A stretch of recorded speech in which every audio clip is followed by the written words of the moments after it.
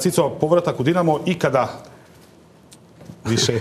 pa to pitanje će se uvijek ovoga, ajmo reći, nekako sprovoditi kroz medije i javnost i uvijek pitanja, potpitanja.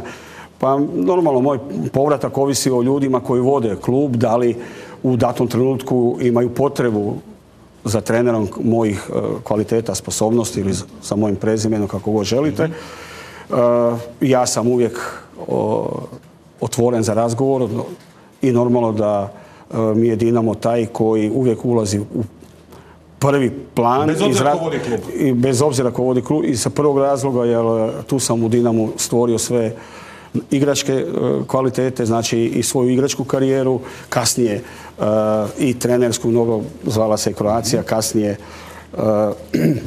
kroz reprezentaciju i sigurno da su te dvije institucije u prvim opcijama. Odlično.